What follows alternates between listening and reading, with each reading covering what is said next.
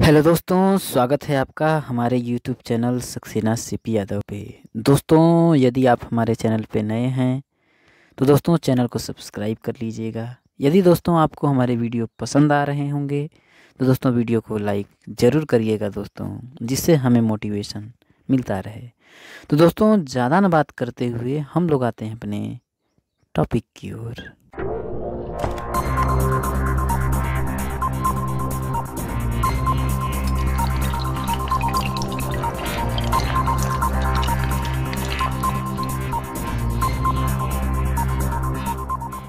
कि दोस्तों, आज की वीडियो में जो हम लोग बात करेंगे, वो बहुत ही इम्पोर्टेंट क्वेश्चंस हैं। और आपका जो पहला क्वेश्चन है दोस्तों, कि शिक्षा को किस सूची में शामिल किया गया, जा सकता है। क्या दोस्तों? शिक्षा को किस सूची में शामिल किया जा सकता है? तो दोस्तों, ध्यान रखिएगा समवर्ती सूची में। किसमें दोस्तों आपका? समवर्ती सूची में। अगला क्वेश्चन है दोस्तों, कि बाबर नामा बाबर द्वारा लिखित एक। तो दोस्तों, ध्यान रखिएगा, बाबर नामा जो बाबर द्वारा लिखित एक आत्मकथा है दोस्तों। उसने खुद के बारे में अपना लिखा था।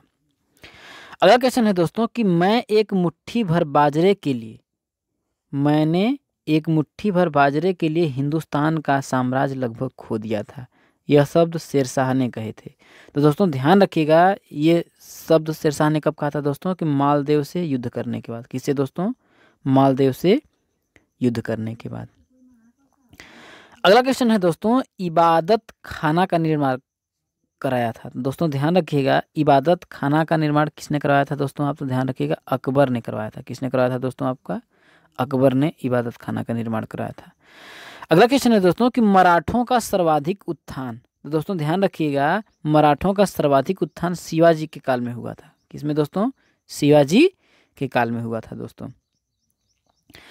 क्योंकि दोस्तों शिवाजी ने ही मराठा साम्राज्य की स्थापना की हुई थी दोस्तों। अगला क्वेश्चन है दोस्तों कि विलय नीति का संबंध है। तो दोस्तों ध्यान रखिएगा, विलय नीति का संबंध आपका डलहौजी था, जिन्होंने राज्य हड़पने की नीति अपनाई थी दोस्तों। फूट डालो, राज्य करो।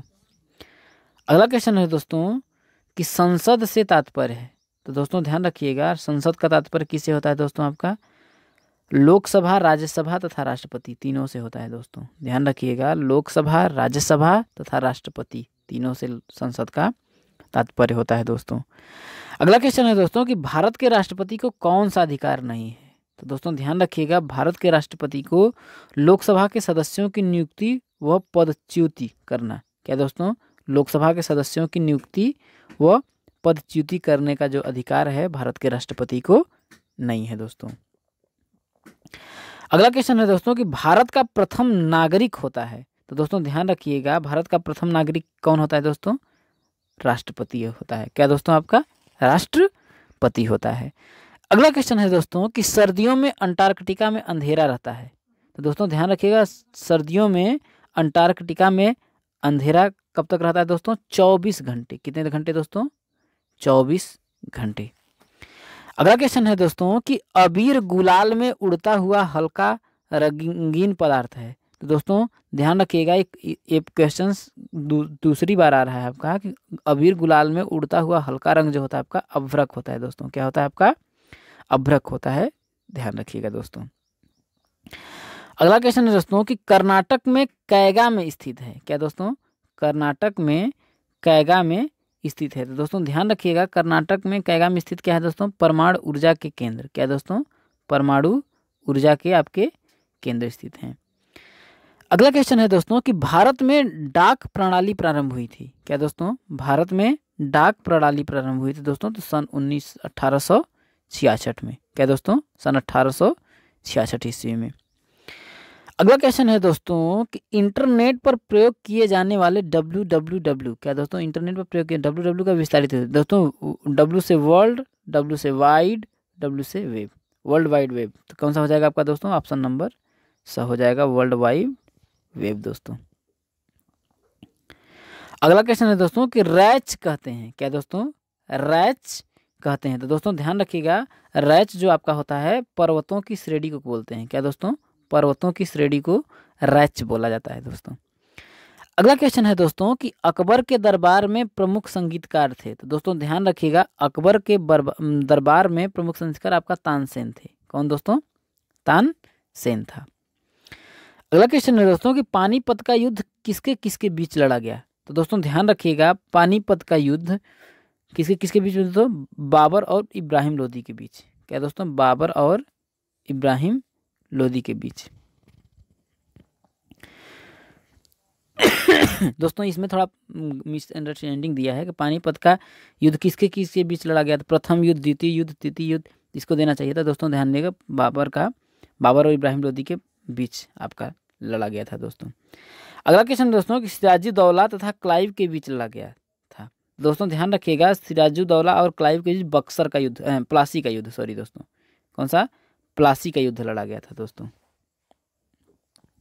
अगला क्वेश्चन है, दोस्तों, कि सहायक संधि प्रणाली का प्रयोग किया। क्या, दोस्तों, सहायक संधि प्रणाली का प्रयोग आप का लॉर्ड वेलेजली ने किया था, दोस्तों? किसने किया था आपका? लॉर्ड वेलेजली ने किया था, दोस्तों। अगला क्वेश्चन है, दोस्तों, कि प्रसिद्ध गिर वन कहाँ स्थित है? तो दोस्तों, ध्यान रखिएगा, प्रसिद्ध गिर वन आपका गुजरात में स्थित है, दोस्तों। कहाँ पर, दोस्तों? गुजरात में। अगला क्वेश्चन है दोस्तों कि रबड़ किस प्रकार के वनों का वृक्ष है? क्या दोस्तों, रबड़ किस प्रकार के वनों का वृक्ष है? तो दोस्तों, ध्यान रखिएगा, रबड़ आपका सदाबहारी वन। क्या दोस्तों सदा बहार वनों का वृक्ष है दोस्तों। अगला क्वेश्चन है दोस्तों कि चिपको आंदोलन संबंधित है। तो दोस्तों, ध्यान रखिएगा, चिपको आंदोलन आपको किससे है? वनों की रक्षा के लिए। क्या दोस्तों, चिपको आंदोलन वनों की रक्षा के लिए चलाया गया था दोस्तों। अगला क्वेश्चन दोस्तों कि वित्त विधेयक प्रस्तुत किया जाता है। क्या दोस्तों? वित्त विधेयक प्रस्तुत किया जाता है। दोस्तों, ध्यान रखिएगा, केवल लोकसभा में। कहाँ पर दोस्तों? केवल लोकसभा में। अगला क्वेश्चन है दोस्तों कि केंद्र सूची का विषय नहीं है। तो दोस्तों, ध्यान रखिएगा, केंद्र सूची का विषय आपका शिक्षा नहीं है दोस्तों। अगला क्वेश्चन है दोस्तों कि राज्यसभा की सदस्यता के लिए उम्मीदवार की आयु होनी चाहिए। क्या दोस्तों? राज्यसभा की सदस्यता के लिए उम्मीदवार की आयु तो दोस्तों ध्यान रखिएगा आपका तीस वर्ष। कितना दोस्तों? तीस वर्ष होनी चाहिए दोस्तों। अगला क्वेश्चन है दोस्तों कि भारत ने अपने मंत्रिमंडलीय प्रणाली किस देश से ली है? क्या दोस्तों भारत ने अपने मंत्रिमंडलीय प्रणाली किस देश से ली है? तो दोस्तों ध्यान रखिएगा वो कहाँ से आपका है? ब्रिटेन से लिया गया है दोस्तों। क्या दोस्तों? ब्रिटेन से लिया गया है। अगला क्वेश्चन दोस्तों कि राज्यसभा का सभापति होता है तो दोस्तों ध्यान रखिएगा, राज्यसभा का सभापति भारत का उपराष्ट्रपति होता है दोस्तों। कौन? भारत का उप राष्ट्रपति होता है दोस्तों। अगला क्वेश्चन है दोस्तों कि निम्न में से कौन जोड़ा गलत है? क्या दोस्तों, निम्न में से कौन जोड़ा गलत है? तो दोस्तों, सहारा का मरुस्थल आपका साउथ अफ्रीका में है, ये भी सही है। थार का मरुस्थल दक्षिण अमेरिका अमेरिका में है तो ये तो गलत है दोस्तों तो इसलिए आपका ये आपका गलत है दोस्तों। अगला क्वेश्चन है दोस्तों कि रेगुलेटिंग एक्ट पारित किया गया। तो दोस्तों ध्यान रखिएगा रेगुलेटिंग एक्ट आपका सत्रह सौ तिहत्तर ईस्वी में पारित किया हुआ था दोस्तों। कब? रेगुलेटिंग एक्ट आपका सत्रह सौ तिहत्तर ईस्वी में पारित किया गया। अगला क्वेश्चन है दोस्तों कि कंगारू पाए जाते हैं। दोस्तों ध्यान रखिएगा, कंगारू कहाँ पर? ऑस्ट्रेलिया में पाए जाते हैं दोस्तों, ऑस्ट्रेलिया महाद्वीप में।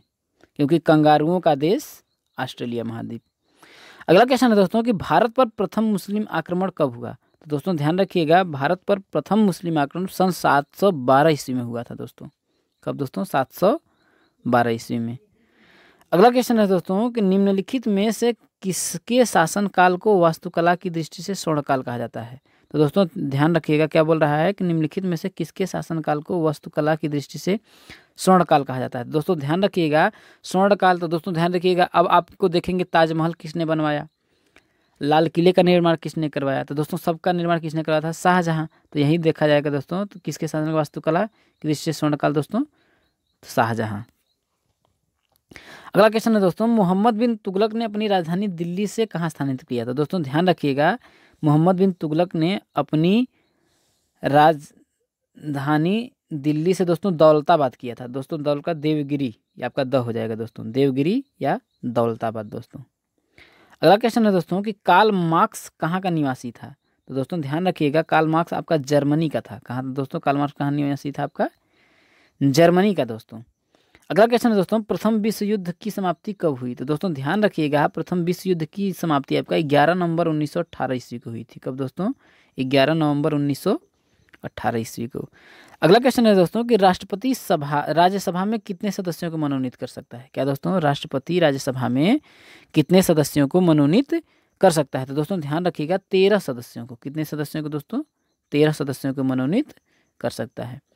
अगला क्वेश्चन है दोस्तों कि प्रधानमंत्री की नियुक्ति कौन करता है? तो दोस्तों ध्यान रखिएगा, प्रधानमंत्री की नियुक्ति किसके द्वारा होती है दोस्तों? राष्ट्रपति के द्वारा होती है। क्या दोस्तों? प्रधानमंत्री की नियुक्ति कौन करता है दोस्तों? तो राष्ट्रपति। तो दोस्तों यहीं पर हम लोग वीडियो की समाप्ति करते हैं। दोस्तों आप लोगों को हमारे वीडियो कैसे लग रहे हैं, कमेंट करके दोस्तों आप लोग ज़रूर बताइएगा। और दोस्तों यदि आप हमारे चैनल पर पहली बार विज़िट किए हुए हैं तो चैनल को सब्सक्राइब और लाइक दोस्तों ज़रूर करिएगा। फिर मिलेंगे हम लोग दोस्तों अगले वीडियो में। तब तक के लिए दोस्तों, जय हिंद, जय भारत, वंदे मातरम।